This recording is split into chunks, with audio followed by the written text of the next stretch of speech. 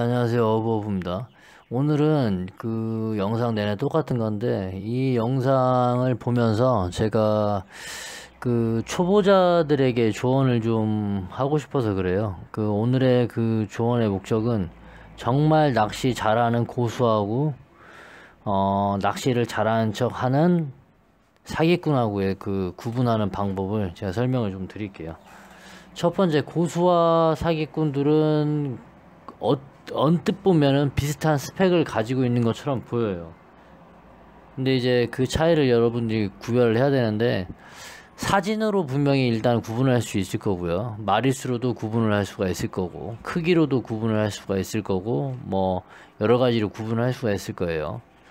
첫 번째 이제 마리수로 그 치자면 자 마리수로 칠게요. 자 오늘 어제 어제 같이 10마리를 잡았어. 고수가 10마리 잡고 사기꾼도 10마리 잡았어요. 근데 10마리를 잡았는데 에? 예? 같이 같이 10마리 잡았어. 근데 고수는 그러니까 누가 고수인지 한번 체크를 해 보세요. 5시간 만에 10마리 잡은 사람, 10시간에 10마리 잡은 사람. 5시간에 10마리 잡은 사람이 더 잘하는 사람이죠? 오케이? 그리고 같은 10마리인데 하나는 50cm 이상 10마리 하나는 50cm 언더 10마리. 누가 더 잘하는 거야? 50cm 이상 10마리가 더 잘하는 거죠? 이해가죠? 자 그럼 다음에 거리. 같이 10마리를 잡았는데 한 명은 이쪽 시드니 쪽에서 잡고 한 명은 2시간 저 밑으로 내려간 뭐 게리비치라든지 더 밑으로 내려간 그런 아니면 저 위 뉴카슬 이상으로 올라가서 잡았어. 누가 더 잘하는 거죠? 그런 걸 구분할 줄 알아야 된다는 거예요. 무슨 소린가 아시겠죠? 그리고 제가 그 이런 거를 왜 말씀을 드리냐면 이게 처음 시작하는 사람들이 자기의 그 어떠한 목표라든지 방향을 좀 잡을 때 그 제가 지금 쓰는 방법은 일반적인 한국 낚시에서 쓰는 방법이 아니에요. P 라인이라든지 아니면은 뭐 제로치를 튜닝을 해서 되게 무겁게 만들어서 캐스팅 되게 멀리 한다든지는 한국의 전형적인 갯바위 찌낚시를 하는 사람들과 약간 다른 방향을 가고 있어요. 하지만 제가 항상 말씀드리지만 여기는 호주입니다. 호주에서 호주에서 물고기를 잡고 싶으면 호주에서 많이 잡는 사람 영상을 보고 그 사람 채비랑 그 사람의 그 조법을 따라하는 게 맞아요. 이해 가시죠? 우리가 페라리 차가 아무리 좋고 아무리 빠르고 아무리 멋있다고 하지만 사막을 갈 수는 없습니다. 페라리 차로는. 그리고 뭐 이런 오프로드를 가지는 못해요.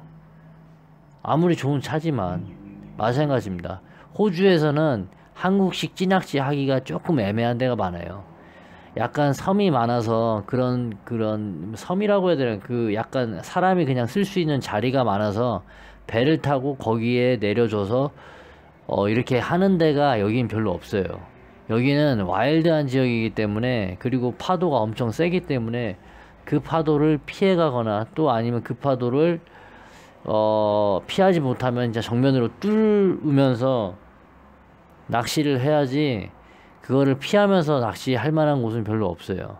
그런 잔잔한 데가 있긴 하지만 그런 데는 호주 정부에서도 그 붙여놨죠. 1년에 몇 마리 이상 그런 하버라든지 이런 가치물에 서 있는 그런 데서는 생선을 잡아먹지 말으라고 권장을 하고 있습니다. 그런 데서 낚시하시는 게 그러니까 썩 좋은 건 아니에요. 자 그러면은 호주에서 잘 잡는 사람이 구분을 할 줄 알아야 되는 거예요. 물론 플로팅 계열 줄을 써서 잘 잡는 사람도 있고 저처럼 P라인을 써서 잘 잡는 사람이 있고 이해가시죠? 그리고 뭐 2시간 정도 거리를 가서 잘 잡는 사람이 있고 1시간 안쪽에 있는 거리에 가서 잘 잡는 사람이 있고. 이해 가죠?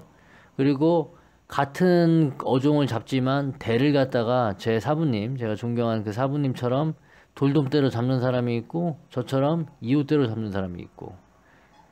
그러니까 물론 그거에 맞는 거를 해야 되는데 더 큰 거를 노리려고 하시다 보니까 그걸 한 거예요. 근데 우리가 그런 말 있잖아요. 소 잡는 칼과 닭 잡는 칼이 있는데 소 잡는 칼로는 닭을 잡을 수도 있어요.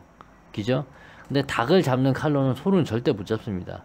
그러니까 그때 사부님이 썼던 그 채비로는 드라마 5자 뭐 6자도 잡을 수가 있어요.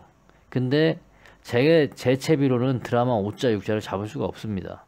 그 상황에서는 그 파도 거기에서는 뜰채 될 만한 데도 없고 그러니까 그런 거를 여러분들이 구분을 할 줄 알아야 돼요. 그리고 꼭 고수와 하수의 그 말을 잘 들어보면은 하수들은 이해할 수 없는 애매한 표현을 하면서 아니 하수가 아니고 사기꾼들 사기꾼들은 이해할 수 없는 애매한 표현을 많이 합니다. 예를 들어서 야 만조 때 잘 나오지 고기가 만조 때 잘 나오는 거야. 그냥 그게 끝이에요. 만조 때 왜 잘 나오는지를 디테일하게 설명을 못해요.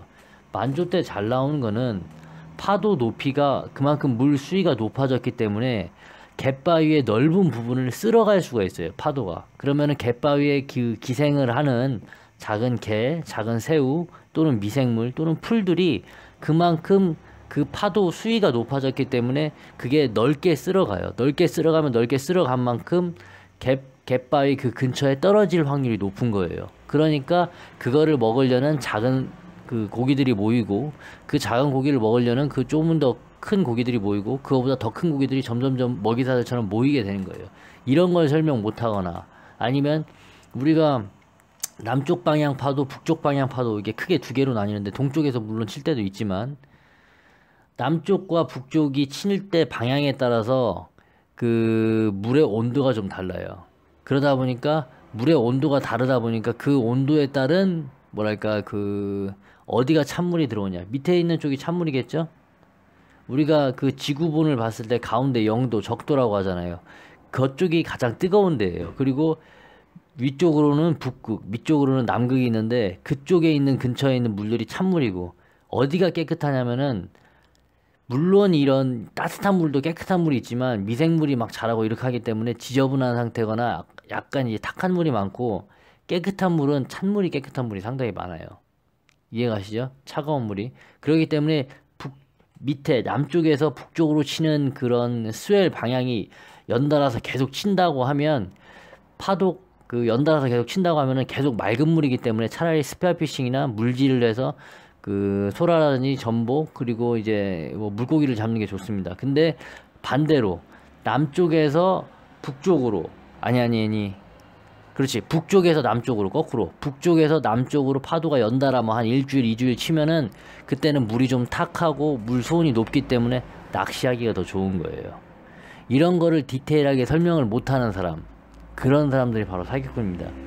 사기꾼들은 여러분들로 하여금 일단 자기가 어떠한 거에 대한 정확한 진단을 못 내리니까 무조건적으로 비싼데 비싼 장비가 좋은 거라고 추천을 해줍니다. 근데 그렇지가 않아요. 상황에 맞게 초보자는 초보자가 가지고 다니는 상황과 그 사람의 그런 어떤 이런 변수까지 고려해서 어 그 사람에게 맞는 거를 추천을 해줘야지 그거를 그거를 다 무시한 채 무조건 고가만 추천해 준다고 해서 그게 좋은 거 아니거든요. 아시겠죠? 무슨 소린가? 이상